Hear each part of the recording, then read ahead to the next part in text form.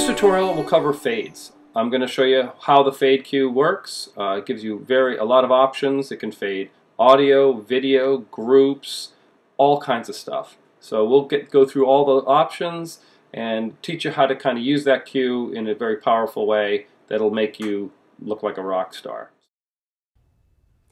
The fade cue is a very powerful cue in QLab. You may not notice it at first, but once you start to do a lot of smoothing and wanting transitions to be seamless and not too sharp, you're going to want to use this cue. It can basically be used with almost every cue in QLab to make it better.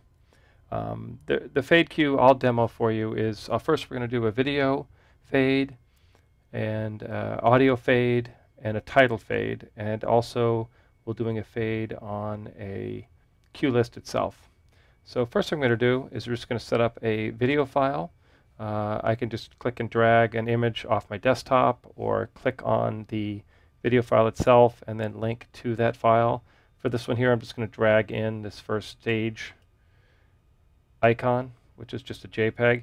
First thing off, it has no valid video service surface. QLab warns you when you're not really, when you're missing something. And if you roll over that error, it'll kind of describe to you what's happening. No valid video surface means that I haven't set up this workspace yet to really deal with video properly. The way to quickly do that is you can click on this little gear icon down here. And it'll just show you, you go to video, and you'll notice I have no surfaces in place yet. So hit the plus sign, and you can actually see, I'm just going to hit new empty surface. And then when I hit the plus sign here, assign screens, you can see that that's my main computer screen right there.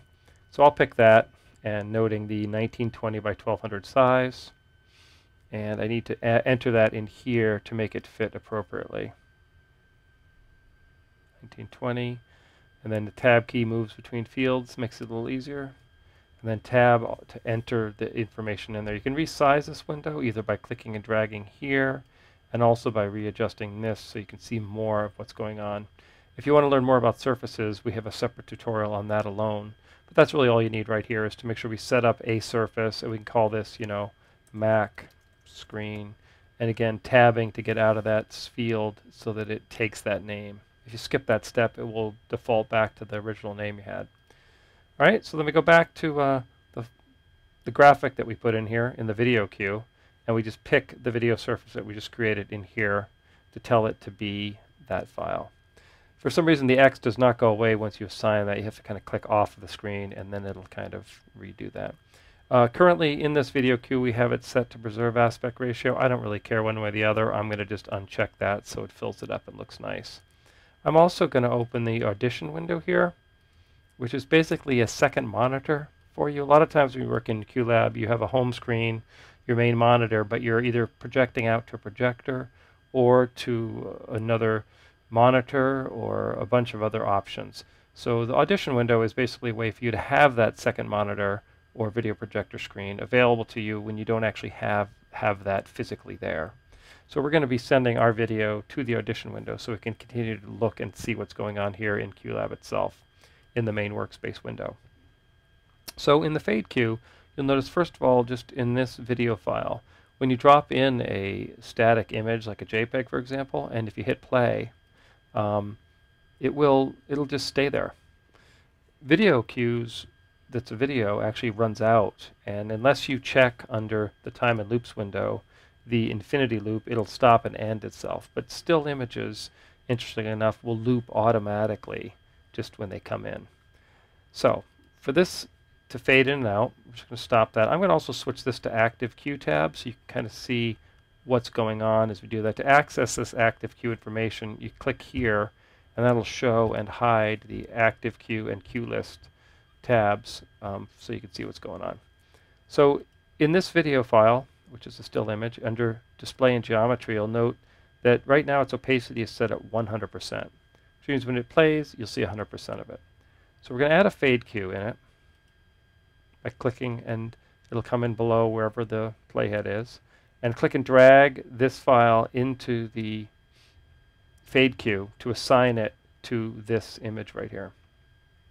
The reason the X is here now, as you can see from no fade parameters have been enabled, pick at least one thing to fade. So in this case, we're going to fade opacity. Right? So currently it's set at 100%. So we're going to fade it out. So we're going to change this, and we're going to go to geometry, and then click on opacity here, and have this be 0. So just put in 0, tab out of the field again, and uh, that should do it. So what's going to happen here is this video file is going to play. We're going to click the um, follow command, which means it's going to automatically start to play and leave and go to the next cue, which is the fade JPEG, the fade stage JPEG cue. And this is a five second fade, which is always determined from the action amount. You can double click on this and change that. And so this cue is going to go from 100% opacity to zero opacity once we do that. So we can just check out the uh, audition window and you'll see it slowly fade in there. Was like slowly fade out there. That's right. Often people want a cue to fade in and then to fade out when it's finished. And that is a little, this is a little counterintuitive, but once you kind of get it, it, it goes pretty smoothly. So we're going to add another fade cue directly above uh, the, the fade out cue. So we'll just, I'm just going to rename this by double clicking on it and just have it be out. And this one, we're going to target it by clicking and dragging this guy down here. You can also rename uh, target fade cues by double clicking here in the target tab and assigning this number. In this case, it's 1. So you could double click here and put in number 1 instead of dragging it in. So in this case, we want to start with the main video file at zero opacity because we don't want it to be on when we first do that, right? So I click in there, hit the tab key to get out of there, and now we're going to tell this that we want it to come in to be 100% opacity. So now what's going to happen is if we click here, it'll start this, no opacity, be, it'll be invisible, and then it'll slowly fade in with the fade cue for five seconds, and during that time we have it set to immediately go and fade out. We don't want to do that. We want it to be up for a while. So we're gonna, I'm gonna put in, let's put in eight seconds. So it'll fade in. It'll be actually 100% opacity for three seconds because five seconds for the fade time. And then it'll go and fade out over five seconds and then be there. Now you can also tell it to stop target when done. Um, and that's always a good idea to get clean up your resources. So I'm going to set that to stop target for done. On the out part, because on the in part you want to leave it there so it's still running. So when you're ready to kill it, it'll do that. So let's give it a try and see what happens. Fades up hangs out for three more seconds, and then it's going to slowly fade out over five seconds, and stop. Beautiful. So it's very easy to retarget this from a JPEG to a video file. If we just go to our desktop, find a video we want, you can drag and drop that in here to replace that, and that will automatically retarget to these other two fade ins and fade outs. The only thing you have to remember to do if you're putting a video in, it doesn't auto loop.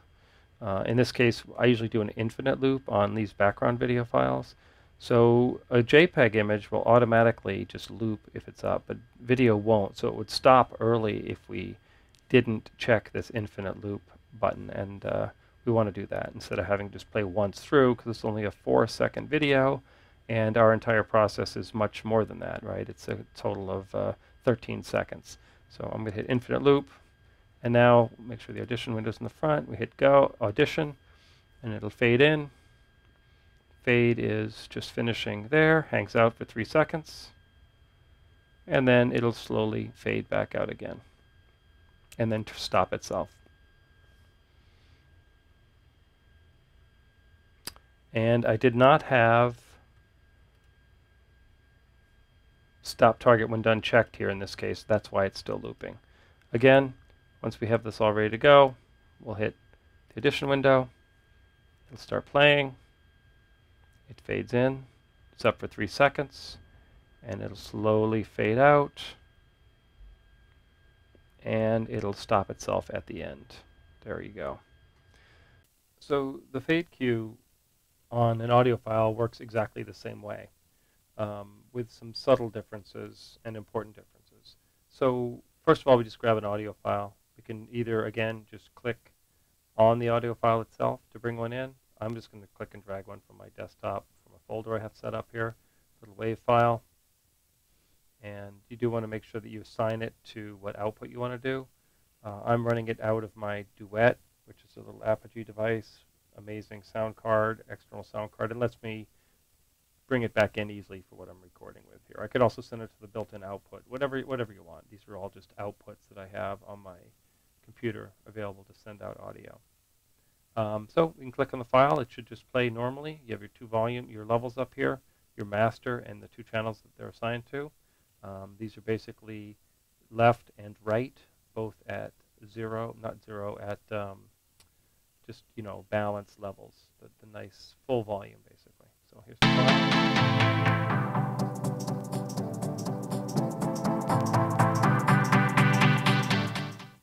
And you can always stop any file like that by hitting the escape key. That will give you a nice slow fade out uh, to deal with just, you know, moving on. You can also click this tab down, this little button down here, which will bring up these controls, including the cue list tab and the active cues controls. I'm going to leave those open so that it kind of helps us see exactly what's going on inside QLab during these tutorials. I'm also going to clean this up a little bit so you can see a little bit more what's going on uh, in the levels and stuff. So same idea with a fade cue. We just click on the fade cue. We're going to add that, to, in this case, to this guy. So we're going to pair them up. You click and drag him in so that it targets this cue here. Again, this volume here is already uh, up, so we want to take that down. We could take down the left and right channels and leave the master alone because we can just affect those two.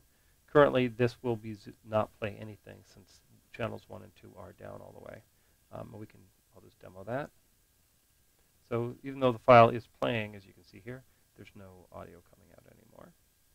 So this is uh, has no fade parameters set, so we want to click on this and we want to tell it what levels we want this thing to be at. So um, we can either slide these up into position um, QLab has a sweet little thing where you hit the option key and click within these bars. First it'll go to mute, and then it'll go to full, which is a quick, easy way to get to those, those places. You want to have the master and the two channels up to full, or whatever level you want it to fade to.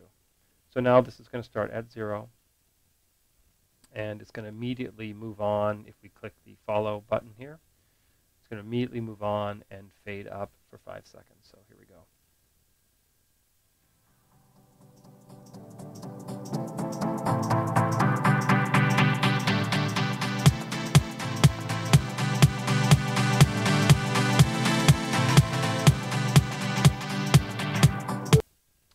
So same deal with fade out.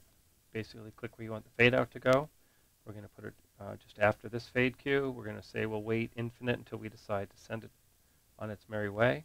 So you want to target that fade cue by clicking and dragging your audio file into it. And then in this case, we want to tell it to fade out. Now you think these are already faded out, but they're not. You need to kind of adjust it once to let it know that that's what you're dealing with. So just moving it up and down real quick will kind of assign those, those things to it. I also going to check stop target when done to let it know that I do want to end this thing, and just not have it you know, running in the background.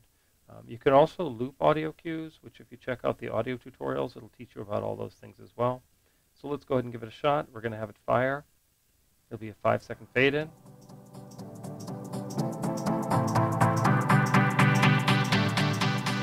You can see it's now running and the next fade out cue waiting for me to hit the go button with the audition button and you'll see it act on the, the cue music and fade out and stop at the very end. So another great fade tool is to really to fade uh, titles, which you can also do the same fade I'm about to do here with video as well, um, and camera cues as well, and even Quartz Composer and Syphon sources coming in from the outside. But for this, we're just going to show you a simple title. Up this guy right in here and add a title cue. And you can edit the um, different features on a title cue by uh, going into text and type in, you know, the cue and you can adjust that by clicking on the A here, which will show uh, the all the different parameters here. You can pick any kind of font you want. Uh, you can resize it however you like. You want to pick a bigger font depending on how big the screen so it doesn't get too crunchy. If you pick something really small and then blow it up on the screen here, it's going to look crunchy. So you want to get close to what it's going to finally look like. Uh, you can change the color here, and we'll go over something along the Q vibe. Uh, obviously, you can change the, the just any parameters that you can do for text, you can do here as well. Um, once that's kind of done, you pick that in here, and you have the Q here. Now we're going to run a fade cue on it, so we're going to click fade cue. We're going to assign the fade cue as the target, give a target to the fade cue. Um, and when I'm working in this, this window here will show you under the geometry tab, will kind of show you what's going to go on with the fade cue we're going to do.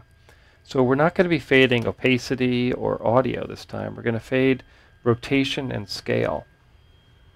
And so to do that, you really want to kind of go back to the original one here and look at the video geometry and see where it starts at. This is kind of where its initial position is. We are going to eventually make it um, zero, so we can't really see it and have it come forward and grow, get bigger, um, closer to the size of this here, which I could scale that up now either by clicking on it and scaling on it, but since if I just work in that field, it'll automatically assign that um, as a selected thing since I've now changed it here within this uh, in this setup here. And I'm going to go back to the cue itself. And in here, I want to mess, I'm going to mess with the geometry. So for example, I'm going to click on Z and rotate it on the Z axis. I'll just do it uh, upside down once, so 180 degrees. You can either type it in or just flip it around that way. And then we're going to also mess with it on the y-axis. So we'll do that 90 degrees, which will give it that nice little kind of flat, suddenly appearing out of nowhere look. And uh, anywhere in there doesn't, doesn't matter too much. And then z, and we do the same thing on the z-axis. I'm going to go and just flip that over. Why don't we just flip it a full 180, and that'll give it something to do when it when it comes in. 270 is good. And then just to finish this off, I am going to take this to 0 here for some reason, it, it, and it is locked, so um, it lets you do that, but it doesn't let you type a zero in there, which is interesting. I don't know why exactly, but you can drag it all the way down and it'll become zero. So now we ha should have it be invisible, and it should rotate on the x, y, and z axis as it comes forward. I'm going to click here on the follow to have it automatically go and start the fade here. So let's see what we ended up with.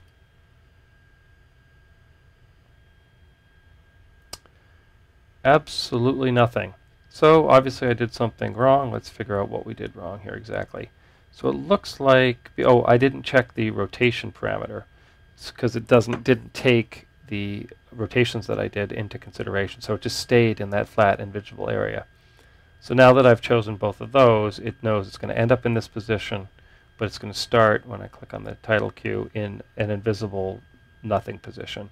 It did zoom in that other setup, um, to come up to this scale.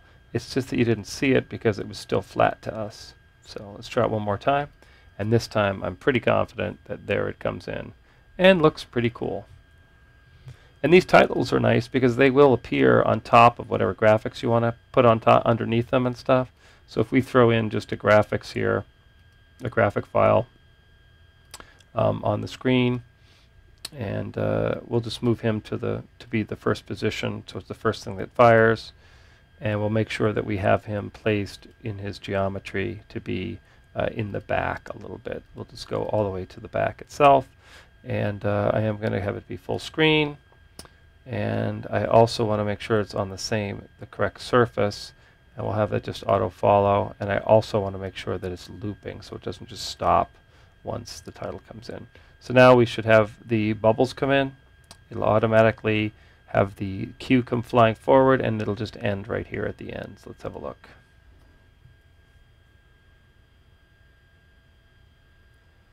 Phantasmico, the amazing fade cue. So let's say we have all this and we're happy with it and it looks good, but we want to fade this out and end it. So one way to do that is we'd have to add a fade cue to these two things and fade them to nothing. An easier way to do that is to fade a cue list itself.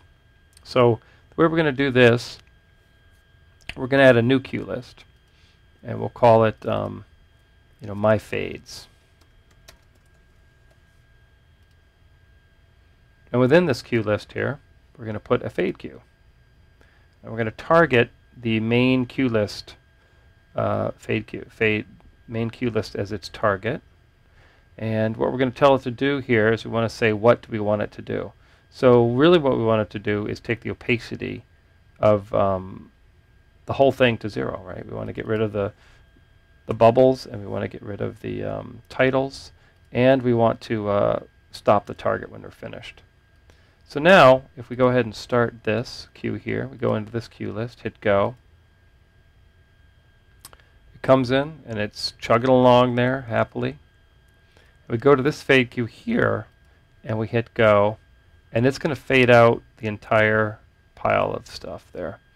And it takes care of the whole mess. You can target huge audio lists. You can target anything you want in that cue list and it'll take that out for you. The amazing fade cue